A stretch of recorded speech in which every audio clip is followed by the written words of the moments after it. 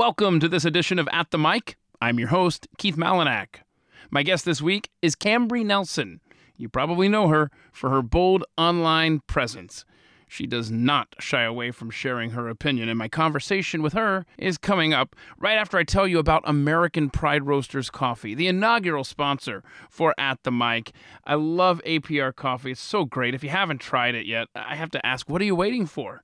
At aprcoffee.com, the Iowa based team brews only the best coffee, and they don't just sell the aromatic coffee beans. They also sell coffee drops, K cups, samplers, gift cards, you name it. American Pride Roasters has you covered. And this month they're featuring the Franklin Blend, named after the Sudoku creator himself, Ben Franklin. Well, he called them magic squares, and he invented them out of boredom during congressional debates. Times really haven't changed, have they? But in addition to those magic squares, of course, Ben Franklin embraced humor, morality, virtue, hard work, and the coffee named after him is a complex, bold brew that works as a daily coffee, an excellent espresso, or even served as a cold brew. The Franklin features French roasted Colombian beans, and it's without question one of the many delicious flavors you need to try when you head over to aprcoffee.com. And through April, order at least two pounds of coffee. Type in ATM in the special instructions section, and during checkout, and they're going to include an 8 ounce bag of the Reagan, a time for choosing. That's a $10 value, and you get it for free. aprcoffee.com.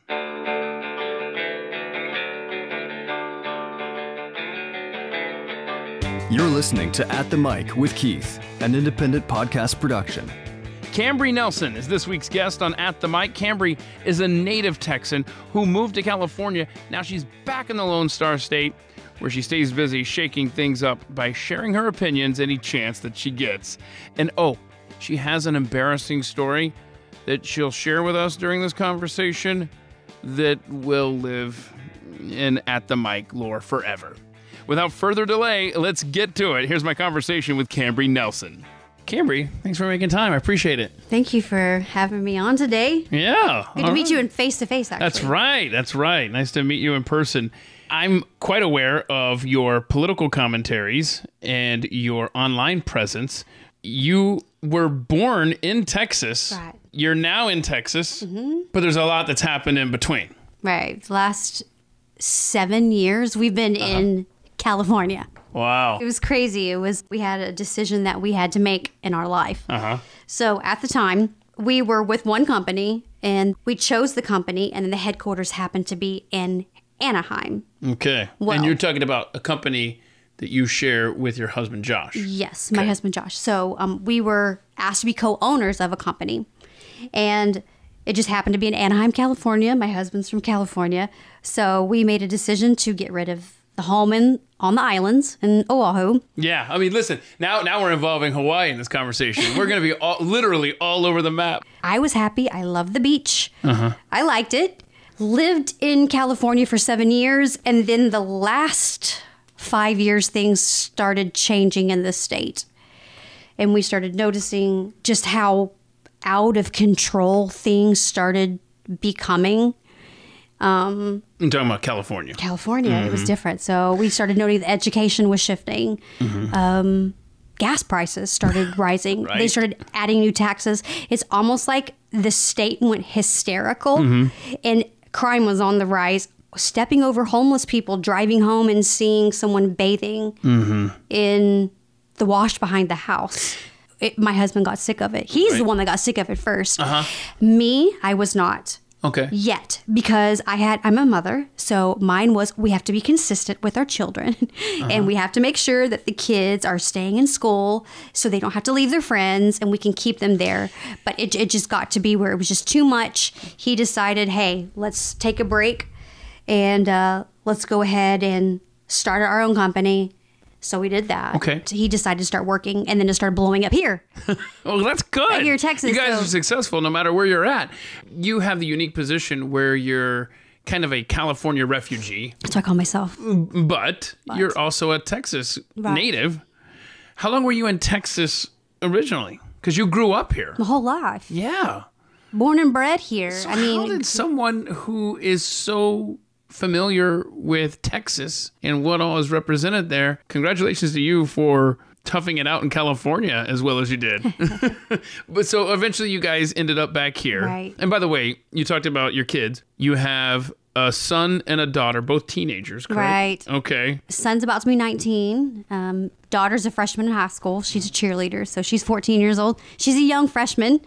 So she's uh, she's good. She's definitely it's it's funny. The dynamics between the kids and us is very very different because coming back to Texas was a culture shock. I'll say it. I have two little liberal children Oh, with I see. two more center right parents. so yeah, so it's it's interesting the conversations that go on in this house, Uh-huh. and you just have to, to be honest with you, is allow them. If I start talking about, hey, you know what? This is, they say I'm fact checking them, so they don't want me to fact check them. Now, my son, being 18 years old, he gets it now. Okay. I am never moving back to California because I'm not paying four dollars for gas prices Uh-huh. when it was, you know, what months ago, a dollar something. Mm-hmm. But he still wants a Prius. he still wants a Prius though, so it's, it's great. But I gotcha. yeah, so it's just it's different. I love California. Don't get me wrong; Right. it's beautiful. They have the beaches. They have. I mean, it's gorgeous. It just really is gorgeous. But I'm glad to be home back in Texas. My whole family is here. But there are times when it's winter. and I would prefer to be in my flip flops, sitting, you know, in my backyard in December. I got you. I got you. now, now you talk about fact checking your kids. If they tell you they clean the room, do you have to go up there and fact check to make sure that, that the room is definitely No, clean? not or- with Emma. No. Not with Emma, I don't because she'll just. I just know she says, "Mom, I'm cleaning my room." She'll clean her room because she'll come down with trash bags saying, "Hey, you know, I'm going to throw this away or throw for this you. away." Yeah, so she's really easy. She's she's definitely easy to. For us, we've got the son who keeps his room nice and tidy, and the Right. two girls who share a bathroom. I mean, it's a tornado every hour goes through those rooms. So it sounds like it's a little flip for you, huh? Yeah, it is a little flip. Like. Emma, Emma's, uh, she definitely some now she'll have piles of clothes on the floor. She will. She'll pile her clothes on the floor, but she knows exactly where gonna everything is. yeah, you got a system. I know where things are if I throw my stuff on the floor Right. in the bathroom. Oh, in the bathroom, I see. And I have my. I will know where it is. Where's that? Right there. Uh huh. Where's them britches? Right over there. I know exactly where they are. And see, that's just it. Like, I'm such a hypocrite where I'll tell my kids. In fact, I've given up though on the closets. You know, Right. Like, they, they- I just let them have that. And you know what? That's your wasteland because I- I'm guilty of the same thing. And and and so when they say, I know where everything is, I've got to say to myself, I'm the same way. I know where they get that disorganized organization. Right. So you have two brothers and two sisters yourself. Where do you fall along the line there? Well, I have like my two brothers. Um, my brother Kevin, he's older than I am. He's 40, he's 44. Maybe 45, 45. I, yeah, I forget how old I am all the time. this, this COVID has like set me back like two years. 42. I mean, he's 46. I think I'm 42. I'm, 40, I'm not gonna 42. fact check it. Yeah, I'm 42. I failed math, so I won't even go there Oh, trying to figure and out my both. age. yes, see? That's why, Oh. we're, that's why we're friends. Oh, and, and there's a hashtag Keith Math for a reason. Okay. Wait, are we both like do math like Common Core? let me let me explain. Let me explain my situation. Okay. Okay. So, I was the unique student at my high school where I was in this media productions class. Okay. That you know, there's just a few of us. Blah blah blah. Right.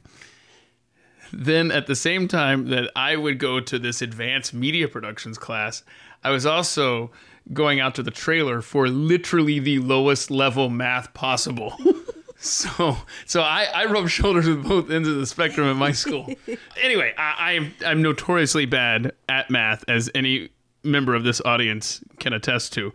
So you have an older brother, then it's you, and you have three younger siblings from No, there. no, so oh, I my- messed that I- up. See, I'm my- bad at math. Yeah, no, that's okay. I have I have like my two brothers. One, my brother's Kevin. I have another brother that is Rob. Rob has basically like we adopted him. He lived with us our whole life. He's Native American, hundred percent. Danced for the Queen. Um, so he's my brother Rob, and then my biological brother Kevin, and then my father got married a few years ago. So I have a step brother and a step sister. Okay. So we're all here. You know what's funny though is like one of the brothers, Rob, is of course Oklahoma. You know he lives here, but is an OU fan, and then I'm a hardcore Texas Longhorn fan. So every year we get to fight, and it is the best fight when it's Texas OU weekend. So it's like the family clashes, and it's Epic, awesome. huh?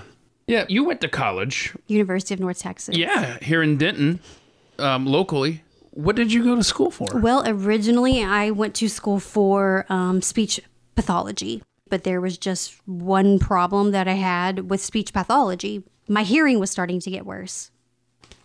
Yeah, so my hearing was really starting to get worse. So speech I struggled with just a little bit, and that's when I really started reading lips. Now, today, oh, here I wow. am 20 plus years later, deaf in this year, can hardly hear in this year, and I read your lips. So, welcome to life with people with masks on. They think I'm like the rudest woman in the world because I just don't respond back. So, I went to school up there for a year and then came back to Dallas and started going to school in medicine and then worked in psychiatric medicine after that. So you're reading my lips right now. I am. But I'm kind of a mumbler.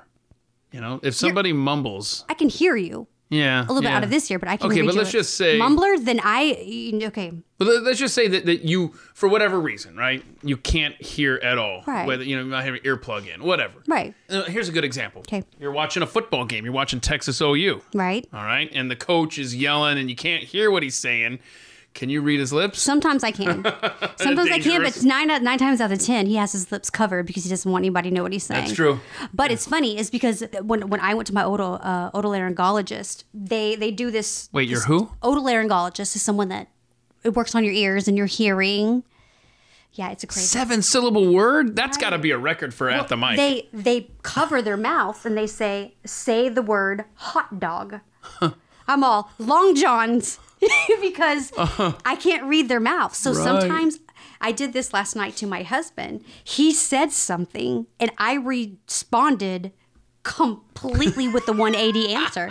So I'll have a totally different conversation if I hear if I hear something and Uh-huh. it's not what you said, I will reply back with something off the wall, and then they'll just start laughing. oh, that's funny. It, it's it's, It's kind of fun. I hope it happens during this podcast. I hope I like ask you a question about your family and you start telling me the gas mileage. Of No, seriously, it, it, it happens a lot, and some- of my family members get frustrated. Uh-huh. Um, sometimes they just start laughing. They're like, "What are you talking yeah, about?" they- and I'm like, "You just started talking about this." They're like, "We didn't even say that." Yeah. like, dude. They're like, "Put your hearing aids in." I can see, depending on the mood of the other person in the conversation, that could either be a funny distraction or very frustrating if it's something Right. serious. I, I brought up the coaches on TV. That's the thing about the age of COVID. It's like you can't see their lips now because they're wearing a mask, but yet there's no fan so you can hear. So it's kind of a trade off. Right. And it's frustrating because you can't, and this is a problem. People with hearing aids, and for those of you listening that have hearing aids, it's frustrating. You put your hearing aid on your ear, you put your mask on, and you can break your wire. That's why I can't wear it with the mask on. So my stepdad's hearing aid, they broke, and they just giggle when he came in. They said everyone's wires popping off because of the mask. They're all behind their ears. Terrible. So you wanted to be a speech pathologist, Right. but at what point did you decide, ah, I want to be a uh, professional grocery clerk? That is when I was four years old. My parents owned a donut store. Okay, for some reason I was thinking you left speech pathology and thought, oh, now I'm getting into the grocery store business. No. I gotcha. Th- I got it now. When okay. I was little, I my when I was little, I wanted to check out at the grocery store. I Uh-huh. just wanted to scan, and now actually I get to. I do self checkout. You get to scan it, and you get to bag it oh yourself. yeah, totally. See, but but has it come full circle with you? Because when I was a kid, I wanted to be able to do that too, and now I find myself doing that, and it's like, oh crap! Now I've got to bag them, and and and I've got to trick the stupid machine that thinks I'm trying to steal Pop Tarts. you know, so it's kind of like now now I wish I should just go in the other line, you know, but. I, I like doing self checkout. I really do. It's fun because when I was younger, I used to I play with stuff like that. But I did. I, I wanted to go to speech path. Um, chose a different path after that. Um, and went into medicine and then started going to school to do um, a nursing and then worked in psychiatric medicine was where I ended up at the very end. But I so I love the medical industry because I really love helping people. Uh-huh. So I am a people person. I I like say I like to fix people sometimes. Yeah, I'll say that. That I can say that. I do. I like to fix. I like to help people. Uh-oh. I like to see their lives even change. in situations where you're not invited or Sometimes I kind of know where Unsolicited advice. You know, typically nine times out of ten, working in psychiatric psychiatric medicine, I have a lot of people that come to me and go, you know, Cam, let me ask you a question here. It's just because I just I have to see things from different points of view. You have to weigh the pros and the cons. If you do this, this is going to be it. But I loved medicine. Um, up into a point where I really started seeing the flip side of medicine, and I chose to, to go ahead and walk away, and then Yeah. have a child and so you were a triage nurse at a psychiatric institute, right. right? So does that mean that you're somebody says I need to commit myself? They're seeing you first. Not necessarily. When I well, I would tri- I had two roles. Um, I would triage patients, bring them in, blood pressure. They would take you and take your vitals, take your blood pressure, take you back to a room. How are you doing on your medicine? All of that. If they need, a, you know, an EKG done, we get them prepped for that. So we just question them about since their last med check of how they were doing. Um, I also worked in a room that was room number seven. That was suicide room. Oh goodness, So that had to be challenging. it was hard. It was really it was really challenging challenging mentally um, and emotionally because sometimes you had people that were seriously in there ready to take their lives and it breaks your heart. So I had a button underneath the desk that I had to have my finger on. And then you had people that just wanted the experience of knowing what it was like to take their family, their wife and two children sitting in the waiting room, what it would be like to drive off a bridge. Hmm. Just so it was really difficult, but it was it was satisfying when I didn't have to push the button. But sometimes you did. Sometimes I had to push the button because that meant that we had to intervene because they were a threat to themselves I or see. they were a threat to others. I see. So it's not like in that exact moment they were going to commit suicide. That Right. button was for this is serious. This person needs Only to be staying serious. here. Absolutely, if we need to get I them. see. Yeah. Okay. So um, I really loved. I really loved that um, part of medicine. It was. It was. It was interesting. It was. You saw so many different um, personalities walk in the door. No pun intended. no pun intended. Personalities, but then there was, you know, there's the good, the bad, and the ugly. And then that's when medicine really started changing to where the pharmaceutical companies played a bigger role hmm. in medicine. It wasn't based upon what was going to work for the patient, it was based upon who's going to be the pharmaceutical company to cover my radio show on Saturday. So we're going to mm-hmm. write your prescription whether we like it or not. I had an issue with that. Are there cases in your mind of, for lack of a better phrase, the ones that got away? Someone you didn't push the button on that later on you found out, oh my gosh, he was being completely serious. He went and did the unthinkable. Not once. Great. I have a very, very, very discerning spirit. uh huh. I was raised, I'm very strict. It was, it was a very strict Christian home. Uh-huh. So when I started saying, I see, okay, people are going to think I'm whack job. I When I started saying, I see demonic spirits hmm. and I can tell you something that's going to happen before it happens, they told me, okay, this is you, your discernment. And I was going, this is higher than discernment. And no one will give me an answer. No one. Like they wouldn't give me an answer until I moved to California and I met a pastor that just said, You are higher than a discerner. You are almost like a seer. Hmm. So, yes, I have seen ghosts, I have seen demons. Really? I have seen them disappear in front of us on the islands and the uncle's on the street and he saw a demon and I cast it out. And then I don't know, it wasn't a, a human and disappear. So and when did you everyone start freaks out. seeing these entities? I would have to say when I was probably 17 or 18 years old is really when I started asking more questions because I couldn't get a, an actual answer because I was told this if it's not of God, it's of Satan. So I had to battle in my mind is what am I seeing good or is it That's what bad? I'm asking you. Are you only seeing bad stuff or are you seeing good stuff too? Um, well, when uh, my husband got a call from his mother, we were before we moved to California. Um, he said, "You know, your grandmother is is in the hospital." Um, and I said, "Yeah, she's in the hospital. She's laying here. There's an angel standing here. The room's set up this way and that." I, I explained everything before we walked in, and lo and behold, we walked in. Boom! I mean, it was just everything was set up exactly how it was. But I think that helped in psychiatric medicine because you don't necessarily know who's coming in for what. And also, this was around the time that there was some very popular ADHD medications that teens and adults were chopping and replacing as for drug use. Right. So my discernment had to come in to know. I had to know the BS factors. Like, are they being honest? Uh-huh. Are they coming in for use, or they really want to jack someone up or them kill themselves?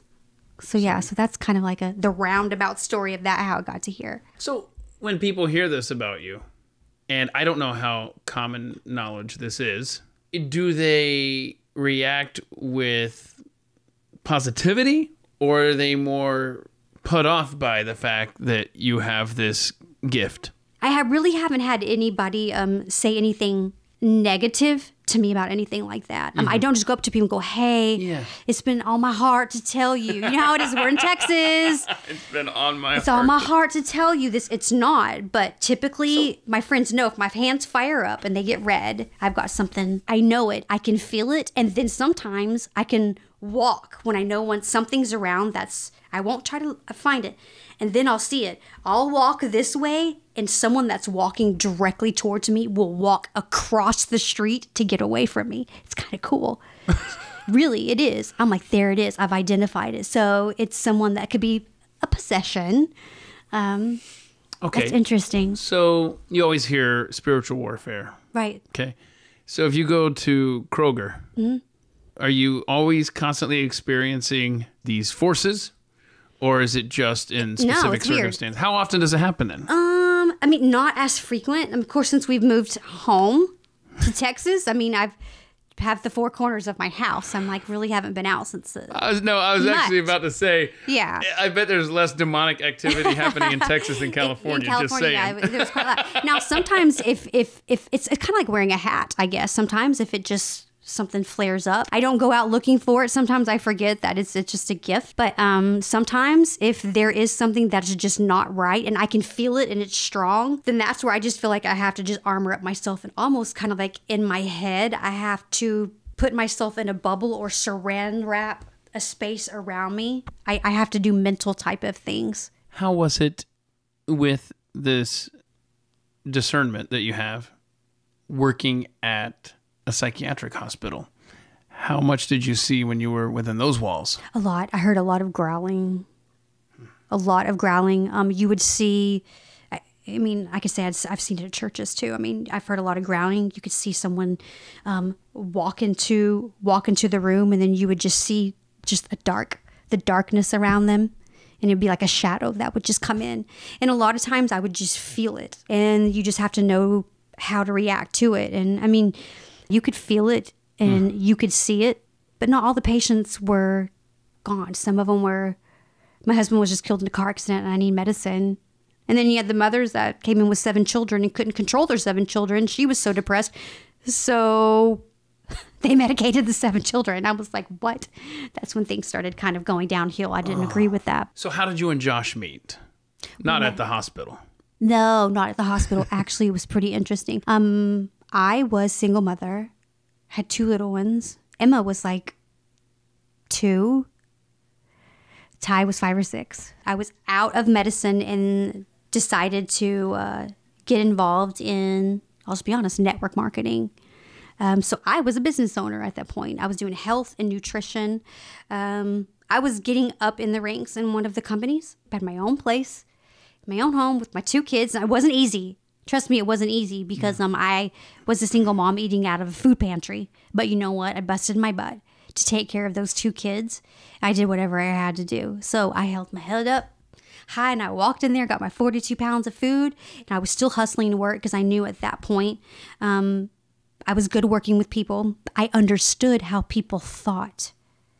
So being able to be an independent business owner and going out and working with other people and other women, and they say, no, I can't be successful. I was like, nah, yeah, you can. It's all about how you think. You need to change your mindset. You need to upgrade that mindset fast. So that's why I loved working in business. So I was two days out from being flown to Utah because Utah is like the hub of this industry. And I was being offered $25,000 a month to come in and speak and train specifically women. I get a phone call from this guy from like the beaches of California, right? so here I am prepping. I'm at CVS Pharmacy, and, and then another guy got on the phone. It's like, hey, I really want you to meet this guy and take a look at this. So I listened and I was like, all right. So he says he recruited me two times, once in business and then second as his wife. So I said no to him the first time. I really said no. And then literally they called me back. And finally I just said, just to shut him up. Just- seriously, just to shut him up, I just said, here's my credit card. What do I uh-huh. need to do? And plus the product was unique. It was like one of my favorite products. No one would ever out, totally opposite from skin, from doing weight loss and nutrition. And he wants me to talk about reducing emissions, you know, doubling the life of your engine and increasing your fuel economy. And it was like this stuff's crazy. So I got excited about freaking gasoline, dude. That's how we started our mindset. And when it comes to business, when we work together, it's just like, it just like never stops. When you're um, looking for something fun to do, you go to Home Depot. I love Home Depot. Are you like a do-it-yourself pro or something? No, or- you know, I like DIY stuff. I uh-huh. don't do any of it. I just get excited to watch people do it. But I love going to the garden section. One thing that came over me that I fell in love with in California was when I walked into their Home Depot there and saw their garden section. Better than the Texas garden sections? Dude, our flowers here suck, bro. Like, they're not birds of paradise. They're not beautiful palm trees, which I did kill one this winter. I tried. I wrapped the guy up, but I just couldn't move in my garage.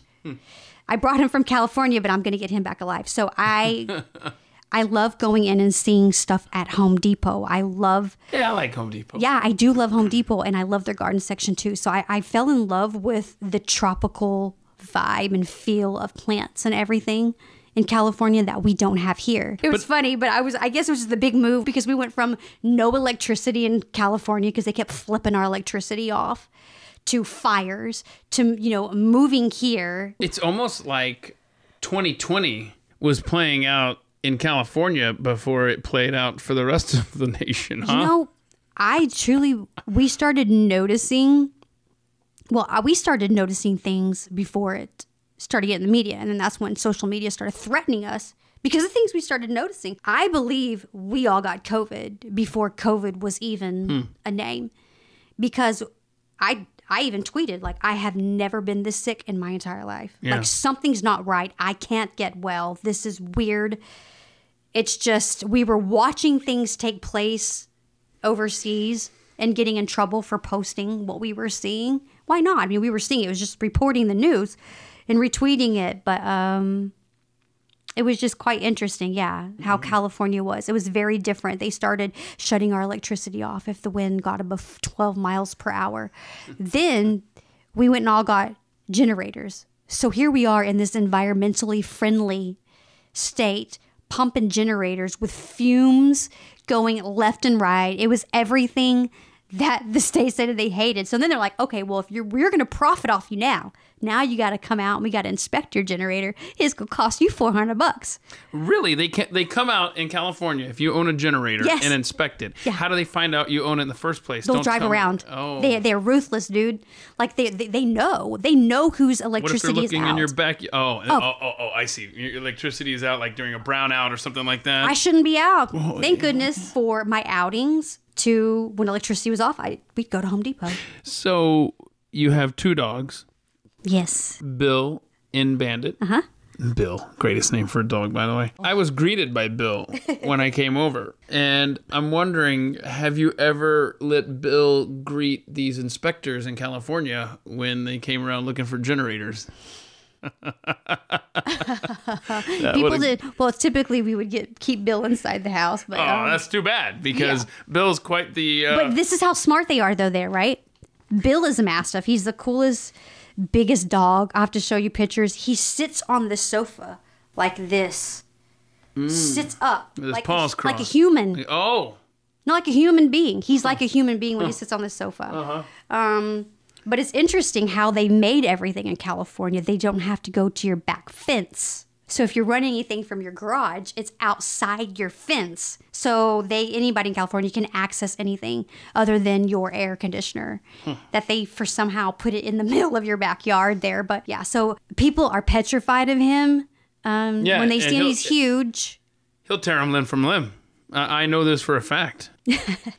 so in California, do they still allow you to listen to music Because I know you're an 80s fan. I love the 80s. It was when I think it just takes you back to a time in your life when things were fun, kids were playing outside, you could sing super loud in your car. It wasn't talking about politics wasn't interjected. It was it was not dirty. Yeah. And plus 80s is just like that's the music that was happy and very loving, especially with all like the romantic type of music. Hmm. Now everybody talks about I hate my boyfriend, you know? Yeah. But yeah, I, I love the 80s music. I still love the 80s music. It's in my car, 80s on 8, 90s on 9 on Sirius XM. That's right. That's right.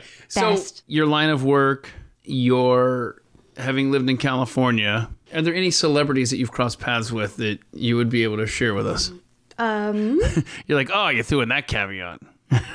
yes, I, uh, I work with lots, but Uh-huh. growing up, my father actually uh, ran a health club in a very prestigious area of Dallas called Highland Park, right off of Lovers Lane. So we had Tom Cruise come in. Oh, wow. The Dixie Chicks worked out there Hmm. um, when it was just Martie and her sister. It wasn't three of them yet. Oh, wow. just There used to be just two chicks? There were just two chicks until Natalie came in, and then they all changed. Oh, wow. Natalie, changed was the interloper, huh? She was. She came in and all changed.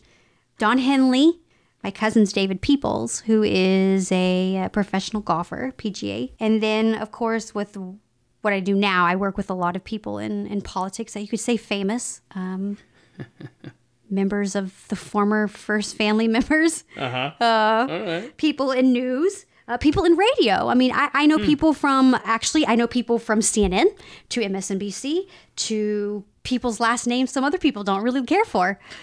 so, and that's okay. I value my friendships with celebrities. I respect their privacy. Friends with a guy from NSYNC. I've known him since before he was popular. Oh, cool. I gave a CD to Kiss FM before Kidd Kraddick passed away. So yeah, it's it's really cool. interesting. Yeah, it's just it's just interesting how so many different things have.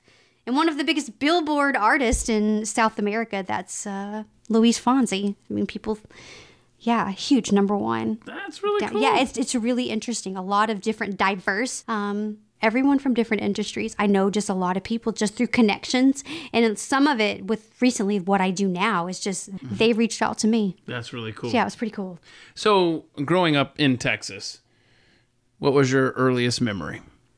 My earliest memory was riding with my papa on the trailer, mowing the yard. I was a tomboy, Mm-hmm. so I didn't like to wear clothes very much. So they had to tell me at like Is that nine. is that a prerequisite for being a tomboy? You don't like I, wearing dude, clothes? like I, I, I walked around with no with breeches on and no shirt, and I had the the bob haircut. The, Uh-huh. You know that was like yeah, I got you. I had that uh, that that haircut, like a bowl, bowl haircut, and I remember riding around Pawpaw, um, that, and then I remember um, playing Star Wars in my backyard when we had the coolest Star Wars, and it was snowing. It was one day we had snow day here, and um, I would take the dart gun, and I'd shoot my neighbor Alan Fortner in the legs all the time, but. He ended up going to the hospital. I didn't know like the darts had like those needle things on the end. So we'd play Star Wars and I remember being like four. Oh. So I remember like riding on a lawnmower, and they said, "Cammy, you have to start wearing clothes."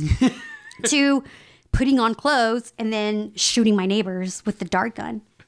Yeah, I, I Oh no. they called me Helen Killer. okay. I'm fun though. Yeah, yeah, yeah. okay. So, tell us about your mom. My mama. Your mama. My mom is precious. She was a she taught aerobics growing up, so she was very fit. We were very healthy, ate very very well. She's a sweetheart. Um, she will do anything for anybody. The one thing about my mom that I know sometimes I'll go to her because I'll ask her a question, but she'll tell me what I don't want to hear. That makes sense. She's like one of those, just kind of like, you know, I love you enough to tell you that, you know, this isn't good. So she's just always just been the type that's just loving and nurturing. She has your best interest all the time, all the time. And um, that's one thing I, I love about my mom. So, you know, I was raised in home, raised in church. My parents did divorce when I was like 14 years old. But I was raised in church my whole life. And that was one thing my mom was dedicated doing was, I tell you, every Wednesday I was there. Every Saturday I was handing out tracts. you know? Yeah. knocking on doors Uh huh. um, and doing that. And then um, my mom sang in church on the praise team. So Okay. Do you want to tell us about your most embarrassing moment? Because it kind of segues nicely there. yeah. okay, so Oh no. okay, so here's the thing. Like, one, Is is is Mama gonna be okay with you telling the story? Yeah, because I tell it all the oh, time Oh, because okay. it's funny.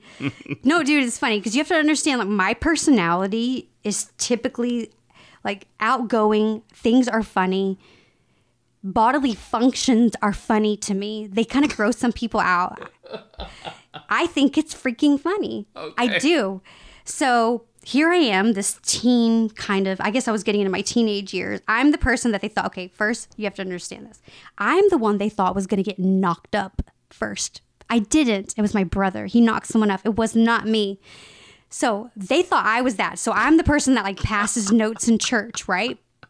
I was a good girl. I was also naive. I thought you'd get pregnant too uh, by French kissing. But when I was a freshman in high school till I met the senior, and then it all went out the window. you said, wait a minute, I'm not with child. Oh no, my mom might hear this. Oh, yeah.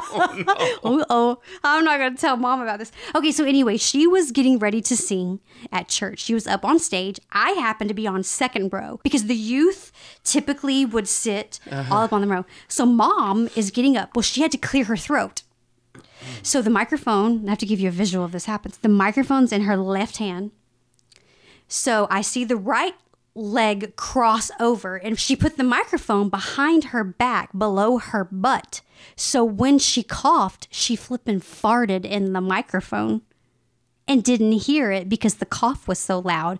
But everybody in the church heard it because it was like vibrating in sound. Oh, oh no. So they had the it would have echo. been better if she just cleared her throat. No, they had the echo on, Right. so it echoed. Oh, no. So here I go from sitting sitting up to my head is underneath the pew. I'm rolling.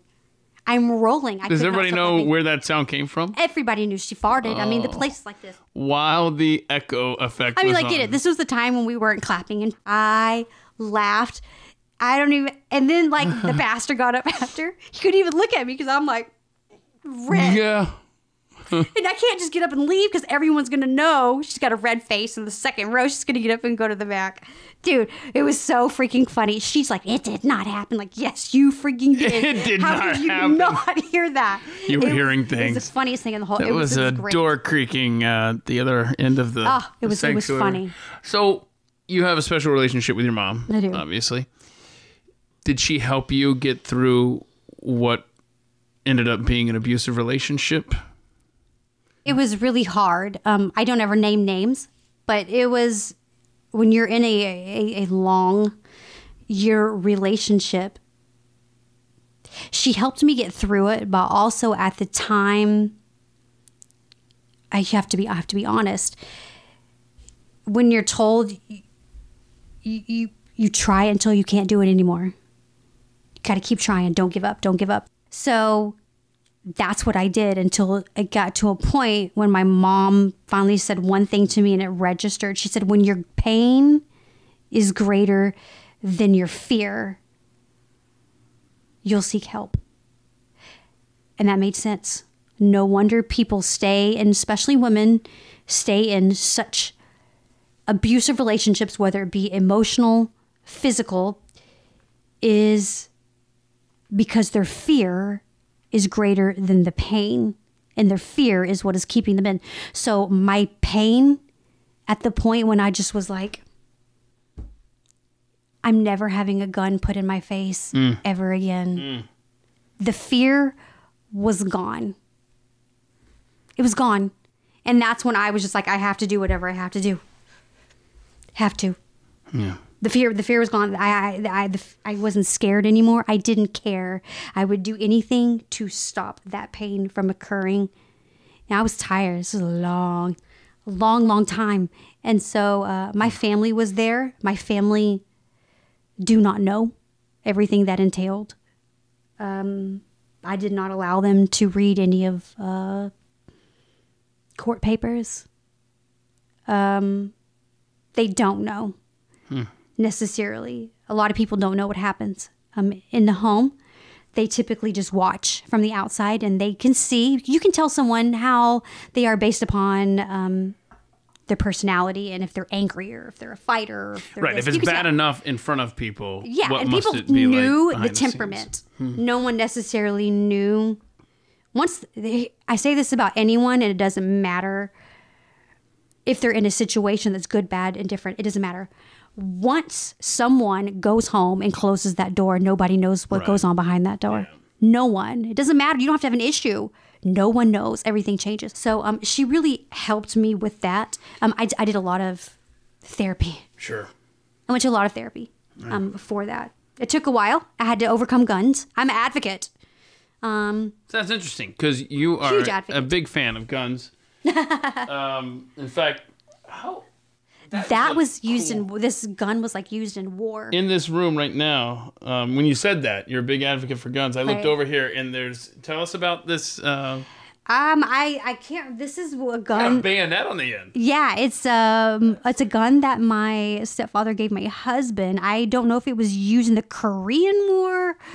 Not necessarily sure, but if you actually, there's still blood on the tip of that. We've kind of found it doesn't work anymore, but it's so old. It's oh, eventually, but it's so old. But yeah, I'm a vid, big advocate. I was raised around guns. Okay, so you're raised around guns. I was raised around and then did you fear them because of the relationship? Yes. And then come back to the I, I was I was always believe that we have been given our God God given rights to be able to protect ourselves. If if we Sure. not to point the guns around as you know, I was raised where the guns were locked up. You know how to you were gonna shoot the deer so we can feed our family for the next six months. We ate hmm. everything that we shot. I mean that's we did hogs, backstrap.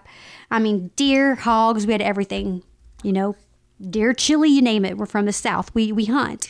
So um, gun safety was very very huge. My daddy used to drive around in his truck and have his guns hanging on the back of the window. That's how it was back in the 80s growing up. And um, everything was safe right there. No one feared them because they were used for a purpose. They weren't used out of anger to where you see like the mass shootings and stuff like that that happens this day. But i never had a gun pointed at me because somebody was angry with me um, once it started being used as a controlling factor to force me to submit, that's when I got scared of them. And it took a while. I mean, I had a, I was in therapy and actually had a, a, a detective that was in my class with me. He was going through divorce care too. He walked in one day with his holster, and they'd planned this. He had his gun in his holster, and it was for him to walk into the church. So I to see how my to get me through that. And when I first saw that, I mean, I made, literally just started trembling because it scared me. It took takes you right back to that place of getting guns. So Josh will take me to the gun club here, and he'll be like, "All right, we got to get you to shoot," and I still will shoot and be okay, but I still have that moment where it's like. Your hands get a little bit sweaty, Yeah. um, but I'm a big advocate for it for the right reasons. But I'm I'm I'm not one that believes that you know, just because you're driving down the road and someone pisses you off, you need to flash your gun at somebody else. That's that's just not. I don't I don't understand that mindset unless you're mm-hmm. just really jacked up person. But but mm. yeah, I'm a really big advocate, big big big advocate because I was raised the right way. Yeah. But I can see how people fear them. Mm-hmm. I can see how people fear them. Depends on experience, right? Right. So you and Josh would love to tour the country in an RV someday, correct? Yeah, I told. Yeah, that's why I've, I've told him. I was like, I would love to see the United States. I mean, we see all these different places on television. We've been a lot of different places. We've been to the Philippines. It broke my heart. You know, I watch stuff on TV and I see the gorgeous beaches of the Philippines, and then we we had to go do meetings in the Philippines, so we would travel there and work there, and it just I saw the Philippines. We flew into China, um, went to Jamaica a lot. You know you can't get to any of these places in an RV, right? No, you can't. But in Texas, I've seen a lot of places outside, but I was looking even just the other day at some of the most gorgeous places in Texas. You've you seen some of these lagoons that are like crystal? Ah, there is Wow. Austin. How close to Dallas Fort Worth? Austin. Oh, These you just told me. caves in these gorgeous lagoons, clear crystal blue water, spring water, and it's beautiful. And I'm like, never knew that ex- existed in Texas. Good place to go in the summer, huh? Dude, like I was raised going to Luckenbach, river rafting. Uh-huh. You know, high school, even in college, you get your coolers, you tie your tubes together, and you go down Luckenbach. And I was also raised, you know, with a lake house. That's huge here in Texas. Is you know we don't have beach houses. People here have weekend homes on the lake, and that's, where my mama lives now. So I want to go look at things in the United States, not fly over them. because I see some unique areas, small towns.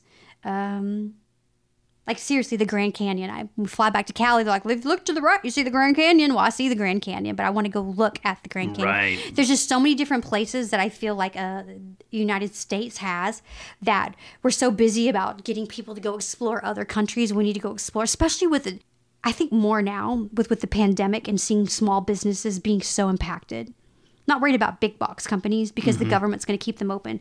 Right. But we, at this point, we have a beautiful country right within our fingertips. And if there's anything I can do right now, go to these little places. And I'm really big into supporting small businesses and keeping them flourishing, especially after everything that's just happened.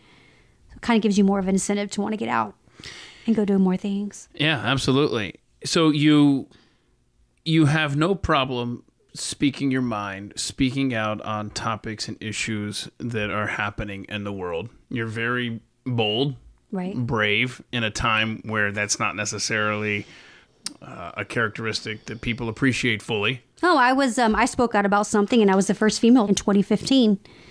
And when I made that decision to come out and speak out, I was the first female. Everything just changed. So I have no problem about speaking my mind and speaking my opinion. I do believe that everybody has a right to their own opinion. I will never shut their opinion down whatsoever. Um, I, you know, I've noticed over the last four years, I'll fight for somebody else's speech, but they won't fight for mine. Um, I don't mind being bold. I am not here and I don't think anyone. Well, we live in a society now where everyone's um, tailored around tissue paper feelings, and I'm not. I, you have to be realistic in today's day and age, especially when everything around us is full of, we want you to think this way. People stop thinking for themselves because we rely, not, I'll say we rely, I woke up in 2015 to think that, oh my goodness, maybe what I've been taught in my life may not be correct. Maybe what they're saying on television isn't truthful because I'm seeing it this way, or they just lied to me, but I watched it happen over here. And at that point, that's when I was like, I'm not going to rely on the television or the media. I started realizing they have their own agenda. They have their own agenda. They all have their own agenda. But if I see something, I'm going to speak out. So when I came out, you know, in politics in 2015, I was the very first female Trump supporter hmm.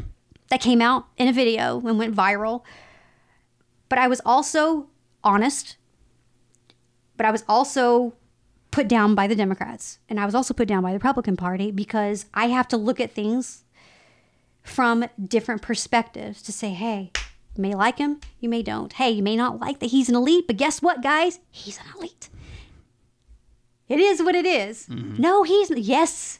So you, I look at things that are practical. You know, I mean, I can jump headfirst in and be bold and say what I think, not just because I like someone, but I can also say what I think if I like them, but also be critical at the same time. I have very different views from other people. I am very center. Um, I'm not the type that just because I like someone and support someone, I have to wholeheartedly believe what they believe. Heck no, then that doesn't make me who I am. That doesn't make me individual. That's not going to make the world progress any better. We'd be boring if everyone just had this one type of ideology. And I'm not like that. I'm bold. I'll stand up against the right, the left, the media, the comedians, churches, pastors. I don't care. I will. Now, am I going to cuss them out? No. I'm, I'm not going to do anything like that, but I have no problem saying, let's just get back to reality and look at things from realistic perspective and get out of the emotional thought process that everyone's sucked into these days because it will destroy you. And it's destroying a lot of people right now, and it's already starting to destroy our schools. So I have no problem being bold. I know how far to take it. I will never cross that line to push it over the edge too much. Because right now, you know, we live in a rage society where you get so upset you just want to go out and say it. Then you're like, oh my goodness, I just got kicked off the social network for saying that. Because in that moment, that rage, I call it rage tweeting. Like rage, sometimes I see something on TV and I'm like, the world has lost their flipping mind. Right. They have. The world's gone freaking mad. And we have to just get back to being able to think for yourself you have to be able to think for yourself and then you go, I don't like this, but let's look at it from this. We don't. A lot of people look at it this way or look at it this way. They stop getting common sense is gone. Oh yeah. Oh yeah. gone. and I have to I have to look at it in a common sense way and I don't care if it's popular or not. But it has to be reasonable and then I'm okay with that. And I, I am okay with that. And if people get mad at me, that's fine. They're right to their own opinion. But I'm I'm just not gonna be they're not gonna mold me in what they want to mold me into. I'm gonna look at the situation and say, is it factual? If it's not, if it is, okay. Mm-hmm. I'll go this way. Well, if people want to find your views on any number of things, they pretty much go to any social media platform, right? Twitter, Instagram, Parler, Telegram. What's CloutHub? Cloud Hub is new, and and it doesn't matter what industry or field you're in. If you're a business owner or if you have something you're passionate about, you know, my new slogan for like 2021, and I think my my friend Matt told me this, and I, I am embracing it, is be everywhere. In today's society, you have to be everywhere because you don't know if you're going to be there tomorrow or where you're going to be tomorrow. Great point. And no, it really is. It could be you could make a factual statement today and you are canceled. Yeah. No, it can be facts are canceling now. And your entire um, account is Gone. erased. Yeah. and for no explanation and you can't so um, i'm uh i'm be everywhere so CloutHub is like a new it's like a new platform they're working on it um but it's almost kind of like a twitter facebook and a youtube kind of like all in one so they Okay. have groups you can post it's, it's, it's interesting Okay. um and, and it's the same handle effectively if everyone just at- types yeah in it's at cam K A M V T V. VTV as in Veterans TV. So it's Cam with a K and then A as in Apple, M as in Mary, and then VTV as in Veterans TV. So you can look at that. I'm on Telegram. I'm not um haven't been pushing Telegram as much. Okay. I've kind of kept my Telegram small just because I really am enjoying on Telegram. One, I don't feel threatened there. Two, I have no trolls there. Mm. Three, I can post anything I want. It doesn't have to be about, it can be food, political, whatever. And we have a conversation. And I like communicating. So I keep a smaller community on Telegram a little bit. Anybody can join my KamVTV page. Do you ever post like? I post, I have my own videos? channel. Uh-huh. And then I post stuff on my channel to keep things current. If I'm like right now, it's spring break, so I'm not really putting pushing a lot. If I'm busy, I don't push a lot on there. But I have my own chat. So Oh, in my own chat, we it's a group. So we just kind of like go back and forth. They can post whatever they want in there or not, or Uh-huh. just say something and reply. So it's really nice to be able to communicate with other people and not literally have that filter of hate Yeah. Um, True. jump in because then it actually brings reality back to what Right. we're used to in 2019. So I enjoy having 2019 conversations, not 2020 or 2021. Maybe 2022 will be different. It just depends on what state people live in. Nah, it won't. Hey, but we live in the United States of Texas, so right now we're freedom. We, we live in some freedom. I love it. Anything we missed? Anything we need to cover here? I think we're good. I think one day that I need to take over and ask you some questions. You know, people have suggested that along the way, but I think there's enough of me that comes out in these interviews that, that pretty much everyone it would just be a rehash of everything. That is the one liner I guarantee you use for every single show. What's that? What you just said. What did I just say? I don't even remember what I just said. I have bad memory. I have to write everything down. yeah, yeah, yeah. You have to say that. What? the- the- You think everything comes out in all the interviews. I think Oh, you're really oh, good. Oh, oh, okay. Thanks. Okay. Uh, you know what? Let me let me look at these questions here. Where was I born? Atlanta. Grew up Metro Atlanta. Any siblings? No. Only child. Go You're to only college. child? Yeah. How's University it being of only child? So were you like really spoiled? How did you come to Texas? uh, Glenn You're Beck. gonna cut me off. Glenn Beck. Glenn did. Yeah. I've been working with Glenn for over 10 years now. Really? We used to work in New York. Yeah. And then he moved his operations down here. See, look how much ground we've already covered. Isn't I could great? totally take this conversation and just Q and A y'all down, but I'm not gonna do that. Well, you know what? Someday maybe that'll happen. But Yeah, I think we, we we- already covered, you know, several questions right out of the gate. So, I'm Emmy. I'm pretty simple. okay. Well, Interesting though. yeah. I got lots of stories I could tell you about. We'll we'll keep that for another. Wait, day. oh, that was the whole point of this podcast. what, what do you you got more stories? All right, thank you so much. Kambree Nelson, uh, thank you for being my guest on this week's edition of At the Mic. Thanks for having me.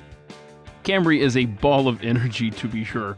Uh, it was great getting to meet her and her husband, Josh, who's also a lot of fun. I, I really hope that I can introduce you to him as well in the not too distant future. Uh, and maybe we can get those stories that Kambree alluded to there at the end. We've been at this podcast for over a year now. So if you've missed any of the previous episodes, uh, I hope you'll head over to atthemicshow.com. Be sure to check them out. Uh, we're closing in on 50 episodes. And uh, when you're over there at atthemicshow.com, please be sure to contact us. Tell your friends who like fun conversations with good people uh, to please check us out as well. And if you're listening to us on iTunes, I do hope you'll feel inclined to leave us a positive review. Next week, I'm going to talk to a guy I met because, uh, well, due to the fact that I injure myself, and I do it often, I met him at physical therapy. Uh, it's kind of what I do. His name is Chris Brown. He's got a story to tell. He has been a minor league pitcher. Uh, he's a great artist. He's colorblind. It's fascinating. He's going to tell us all about it next week. But until then, be free and thank you for listening to At the Mic. This has been At the Mic with Keith, an independent podcast production. Head to atthemicshow.com for archived episodes, sponsor information, and ways to connect.